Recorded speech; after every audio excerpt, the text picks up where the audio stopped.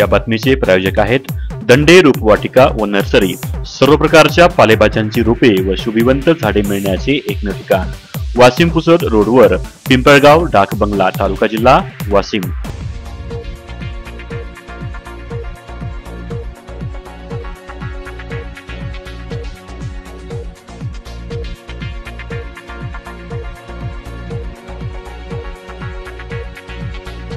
पाहत रहा वत्स गुलमलाही आपली संस्कृती आपला वसा.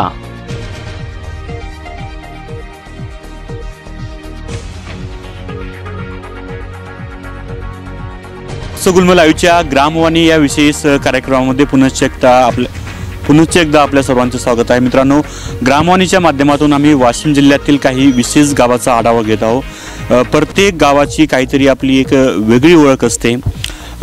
ऐतिहासिक महत्त्व असते काही धार्मिक महत्त्व असते सांस्कृतिक महत्त्वही असते. तर याच बाबीचा उलगडा आम्ही ग्रामवाणी या ग्रामवाणी या कार्यक्रमाच्या माध्यमातून गत काही दिवसापासून करीत आहोत.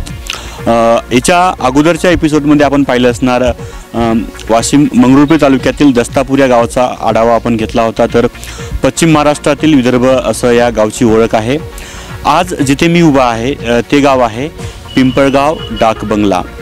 वाशिम आणि अंचिंग दरम्यान वसलेलं हे गाव परमपूज्य गोगले महाराजांच्या पदस्पर्शाने पावन झालेलं पिंपळगाव हे गाव वाशिमपासून अठरा किलोमीटर अंतरावर आहे आणि अंचिंगपासून चार किलोमीटर अंतरावर असलेलं पिंपळगाव हे गाव अजून एका वेगळ्या बाबीसाठी प्रसिद्ध आहे. ती बाब म्हणजे काय?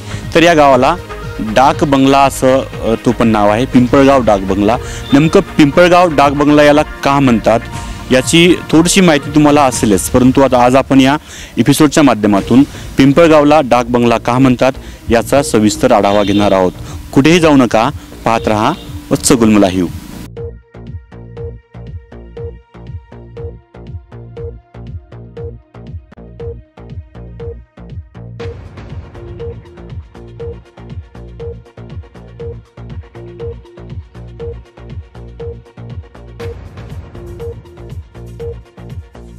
अच्छा पिंपळगावमध्ये किती दिवसापासून राहता?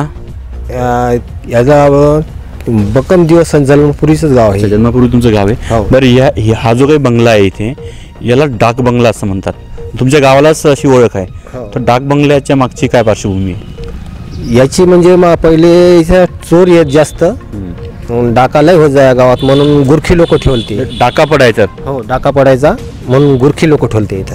अच्छा गुरुजी म्हणजे काहीतरी गस्त गावाला गस्त घालण्यासाठी? गावातला गस्त चालू राहण्यासाठी ठेवते म्हणून, अं, याला डाक बंगला हा म्हणतात. म्हणून अं, डाक बंगला नाव ठेवलेलं आहे. अ, याच गावचे दुसरे एक अ, तरुण आपल्यासोबत आहेत सावंत सर. सावंत सर डाक बंगला अशी ओळख तुमच्या गावाला आहे या बंगल्यावरून? तर नेमकं डाक बंगल्याची काय पार्श्वभूमी आहे?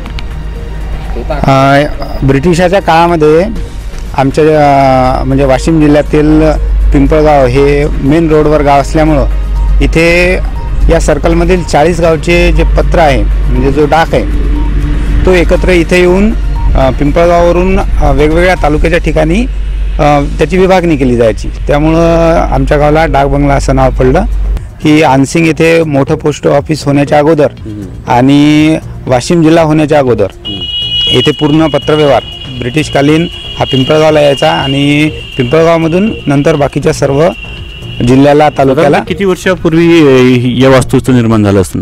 हे हा बंगला जो आहे बाजूला दिसतो तो जवळपास एकोणीसशे वीसमध्ये बांधलेला आहे असा अंदाज आहे. शंभर वर्षामध्ये हो शंभर वर्ष झालेले. तर पिंपळगाव डाक बंगला हे नाव का पडलं? याबद्दल आपण सविस्तर माहिती गावकऱ्याकडून घेतलीच. तर यामागची पार्श्वभूमी अशी सांगितली अनेक पार्श्वभूमी सांगितल्या काहींनी म्हटलं की इथं रात्रीच्या वेळी चो चोऱ्या व्हायच्या म्हणून गस्त घालण्याकरता काही इथे पहारेकरी इथे मुक्कामी राहायचे. अनेकांनी सांगितलं की टपालाचा जो काही पत्रव्यवहार व्हायचा तर पत्रव्यवहार इथून पत्रव्यवहाराचे कामकाज इथून चालायचे. आणि एका अर्थानं तेच बरोबर आहे. पूर्वीच्या काळामध्ये इंग्रज राजवटीमध्ये जो काही त्यांचा महत्त्वाचा गोपनीय पत्रव्यवहार असायचा. समजा आता जर वाशिम म्हणून एखादा त्यांचा दूत निघाला असेल तर त्याला पुसरला जायचं आहे तर अशी रस्त्यावर कुठलीही गावं नसायची पूर्वी. तर पिंपळगाव हे असं गाव होतं दरम्यानच्या या प्रवासामध्ये. तर इथे हा एक बंगला होता. इथे एक एक विश्रामगृह होतं. की इथे येऊन तो अधिकारी रात्रीच्या वेळी मुक्कामी राहायचा. जेणेकरून त्याची जे काही गोपनीय जे काही डॉक्युमेंट असतील पत्रव्यवहार असतील तो तिथं सुरक्षित राहील. कारण की पूर्वी वाटमाऱ्याही व्हायच्या. अनेक जे काही डॉक्युमेंट असायचे ते महत्त्वाचे असायचे. म्हणून इथे ते अधिकारी मुक्काम करायचे आणि सकाळ झाल्यानंतर पुन्हा ते दुसऱ्या गावाकडे ते रवाना व्हायचे अजून एक माहिती अशी आहे की इंग्रजांनी काय केली? रस्त्याच्या कडेला जे काही निंबाची झाडं तुम्ही पाहतात आता शासनाने रस्ते रुंदीकरणासाठी ती अनेक शंभर वर्ष असलेली ती झाडं तोडलीत असो. परंतु ती जी काही झाडं लावली होती त्या झाडाचं संगोपन करण्यासाठी देखील इथून काम व्हायचं. जसे त्यांना पाणी देणे जे आपल्याकडे कॉन्सेप्ट होती मैलकुली. मैलकुळी म्हणजे जो कोणी व्यक्ती असतो गावातील की जो रस्त्याच्या कडेला असणारे जे झाडं असतील त्याची जो निगा राखतो किंवा रस्त्याची रस्त्याचं मेंटेनन्स जो व्यक्ती करायचा त्याला मैलकुली असे म्हणतात. तर तो देखील इथे राहायचा.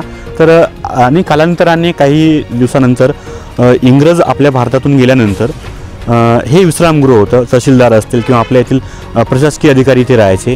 आणि आत आज घडीला हे जे विश्रामगृह आहे इथे कुणी राहत नाही आहे तर अशी या पिंपळगाव डाकबंगल्याची ही एक पार्श्वभूमी आहे. अधिक माहितीसाठी आणि बातम्यासाठी वत्सगुल्म लाईव्हला सबस्क्राईब करा. व्हिडिओ जर्नालिस्ट चंद्रशेखर हिंगोलेसह वत्सगुल्म लाईव्हसाठी पिंपळगाव डाकबंगला रामधनगर, वाशिम.